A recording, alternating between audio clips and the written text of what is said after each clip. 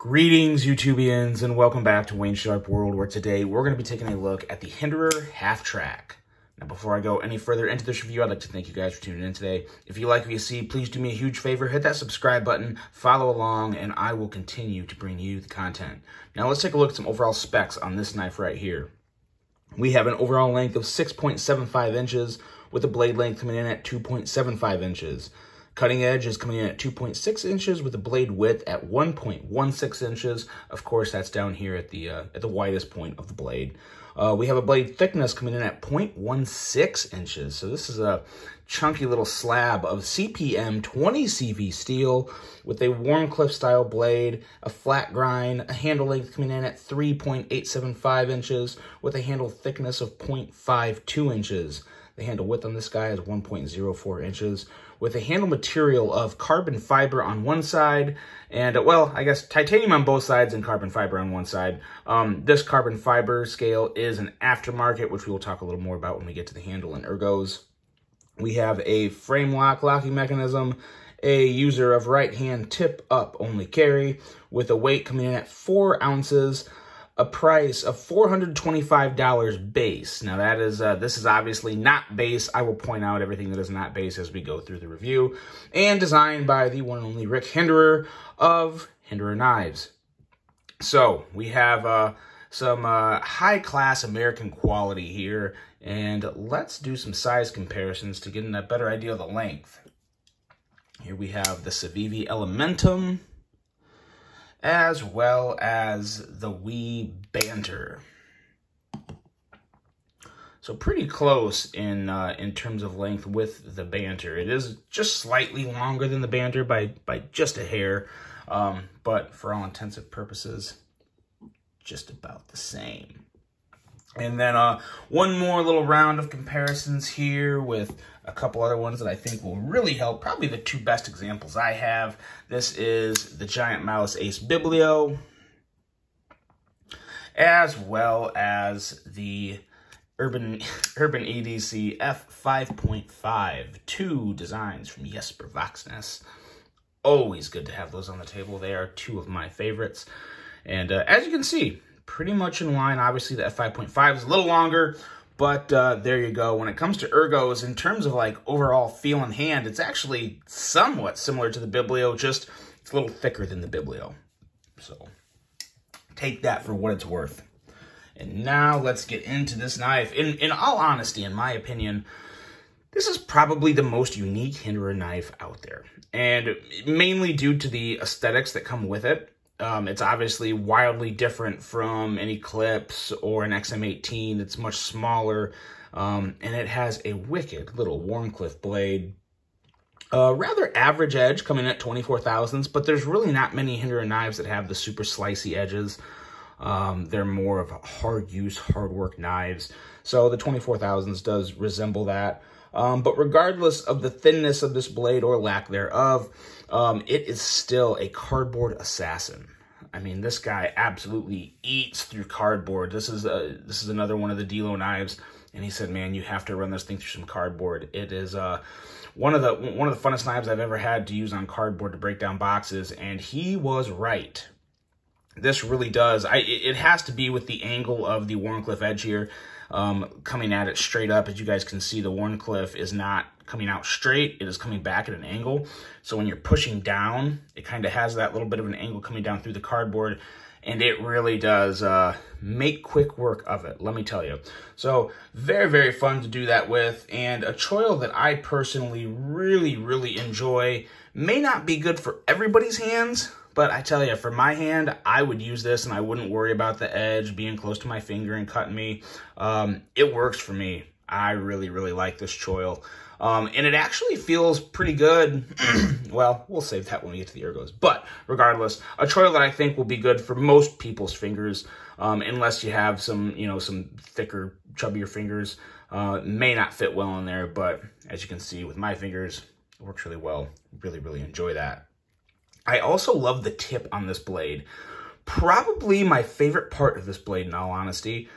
It's just, it's at a really nice point in line with the pivot, so it's just kind of always in the right spot when you need it. You're not working too far up or you don't have to kind of angle it too far back to get the tip in there.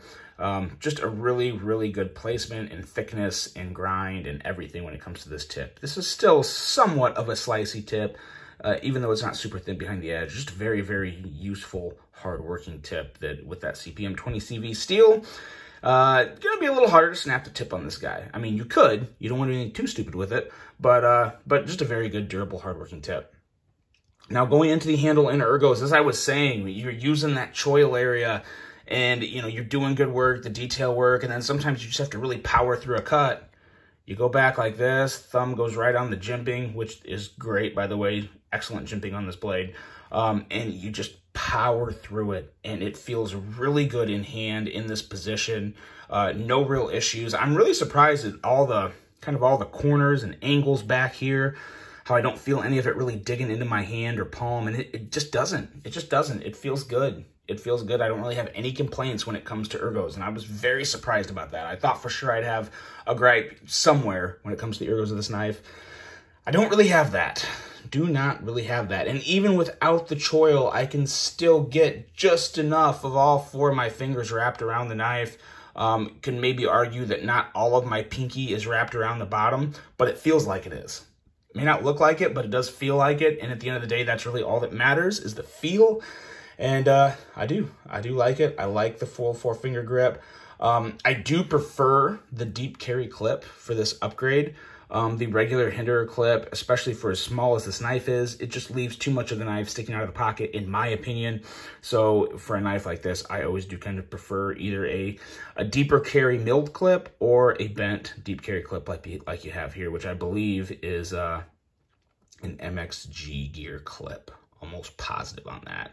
Um, and they make great clips as well. I love, love, love this red dark matter carbon fiber. Um, if you guys don't know about fat carbon, I'm sure most of you probably do. I feature it on my channel a lot. I usually call it out. Um, it's just fantastic. It is the best looking marbled carbon fiber you can get. And now uh, fat carbon went a step further and mixed some color in with it. So you have red and there's also green, blue. Um, they have like copper and, and gold. Uh, really, really cool. Probably my favorite carbon fiber ever is the dark matter. It's it's just really sweet. And it makes any knife look better. I mean, especially this one with the bronze titanium and the black clip. It just pairs so amazingly well with this clip. Which And this clip was made by Carbodize. Um, I'm sure a lot of you probably heard of Carbodize. If you're big into the knife scene, um, Carbodize is someone who makes custom scales for knives, and he does a fantastic job of it. So I don't know what his books are like. I don't know if he's currently taking other orders. I really don't know, um, but I know he does really good work. So he is someone worth looking into if you want some custom scales, and uh, he did a really good job on this one as well. Uh, easy lock bar access and rock solid lockup on this guy. Um, very easy access. As you can see, you have kind of milled areas here that give you a lot of room to just easily, very easily get your thumb in there. I think even for really someone that has really big, stubby or wide thumbs, uh, gonna fit in there very well and just move that back to close the blade. But once you get that blade out, I mean, we're talking, yeah, bank vault lock up there. Absolutely nothing to worry about. You got your over travel stop, you got your lock bar insert, you got all the nice uh, heavy duty additions for the locking security of the knife and it just looks really, really good. I've noticed it, it's always interesting to me on certain knives how big of the gap between the lock bar and the knife is. Some knives have very, very small, uh, a very small gap in between, and some have a bigger one. This has a bigger one. It doesn't bother me one bit. I'm just kind of curious as to to why it's like that compared from maker to maker. I'm sure someone knows out there. If you know, or if, if there's any real uh, distinctive reason behind, let me know. I'd be interested to hear that. But um, but no, not really here or there. Just kind of an observation I made. Um, going into the action on this guy, the action's pretty darn good. Um, most Hinderer knives have great action, especially now with the tri-way system. Blade flies out. You do want to be careful when you're deploying this blade of not putting too much pressure on the lock bar. That will make this blade considerably harder to deploy. Um, I've done that before. You, you kind of get that pressure up there, and then you really have to fling it out. Now, obviously, you saw it fly out and made a good sound, but I really, really felt that on my fingertip. So what I would recommend um, is keeping your fingers on the clip here. If you have them on the clip, you can pretty much rest assured that you will not ever have that issue and the blade pops out. So that's the only thing you really have to watch out for. Um, Dilo was actually able to, to middle finger flick this. I can't.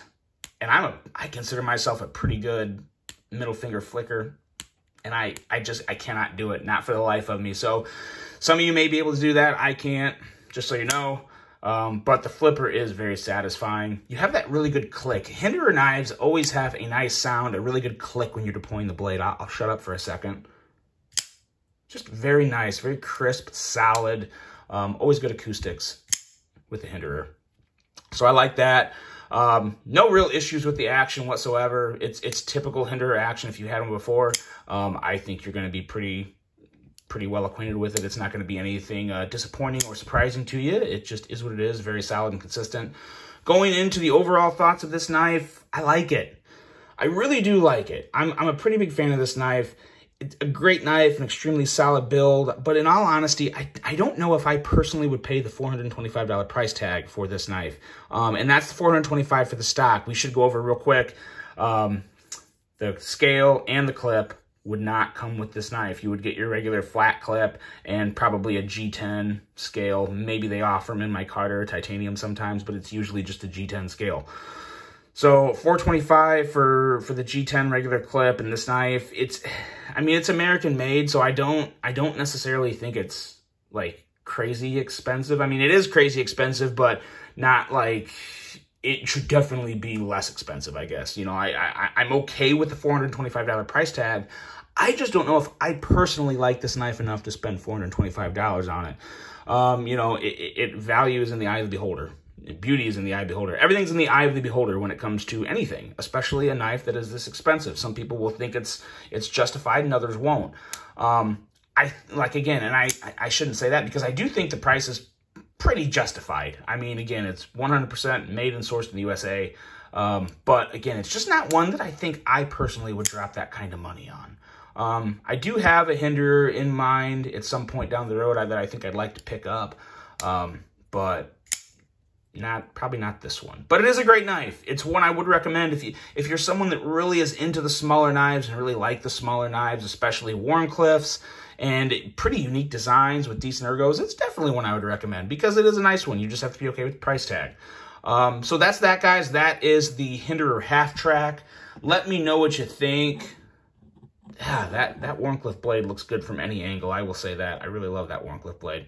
So let me know what you guys think. I hope you enjoyed this one. Hope you have a great rest of your day. And until the next one, I'm out.